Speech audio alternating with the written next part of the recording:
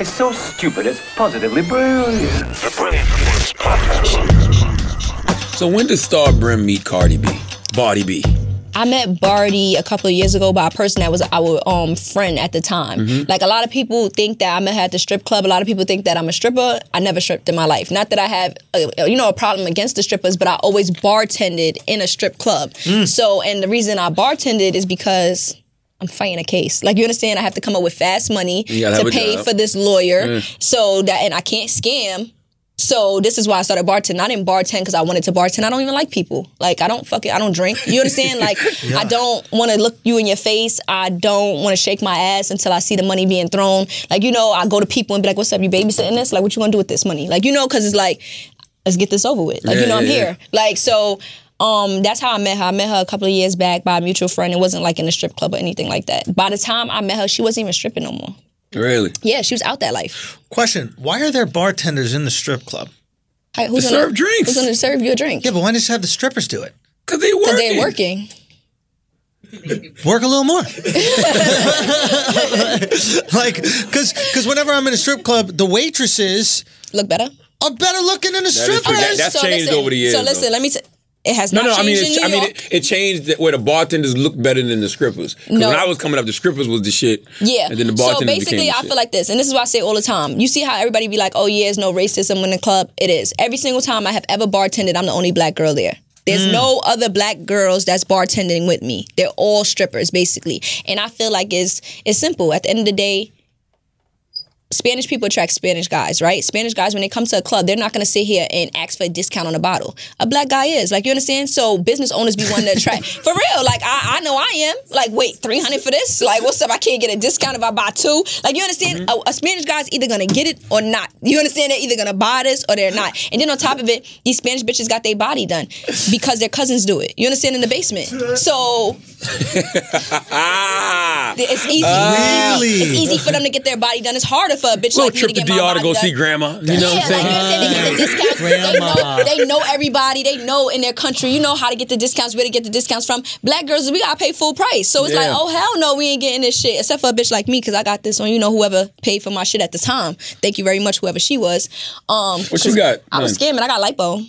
Oh, all right. What what is what what is lipo means? You take it out. Did you stuff it back in anywhere? No, I just took it out. I wanted it. I, I told him to save it for me, but he didn't. What was you gonna do with it? I wanted to put it in my ass, but he said didn't. He said no. Oh, okay.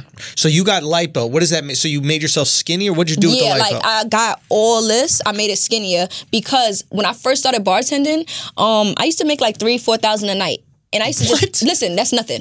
I used to make like three, four thousand a night, and I used to sit there and be like, "Yo."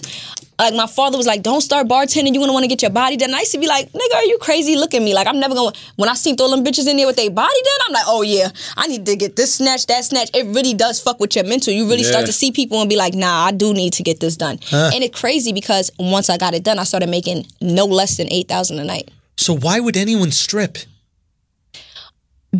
I don't know. A lot of people, a lot of people like different things. Like you understand, maybe they're not. How much are the strippers making?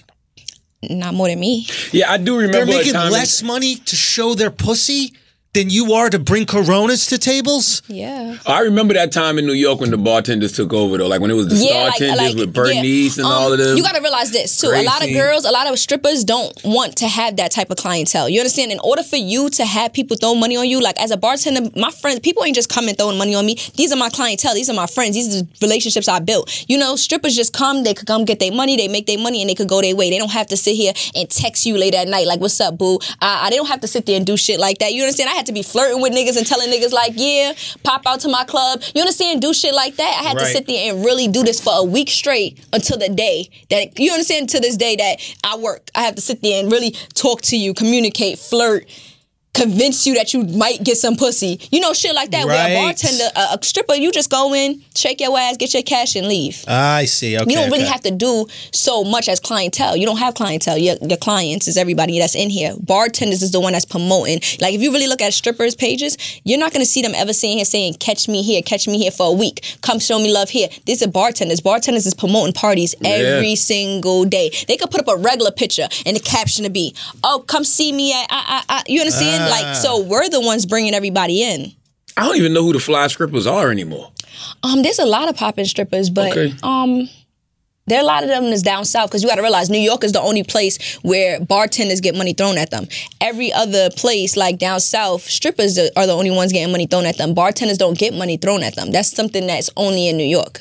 So if you really want to make a good living as a stripper, go down south because these motherfuckers is buying houses and cars and everything. Like you understand, they really have they file taxes. Right. Like you have to down south, you have to get a permit and you have to go to like the local police station and they have to give you a permit in order for you to strip at clubs. In New York, you don't. You have you don't have to no permit. You don't have to have none of that. But every other So place, every stripper's licensed, every stripper down south is licensed. and you have to take a test for that. What is No, it? you just you go you just gotta go to the local precinct with a paper and they fill out the paper and they basically give you a license because now basically you could file taxes. You know, you could do other Oh, they things. want I to didn't know, know that. some money. yeah. I had no idea.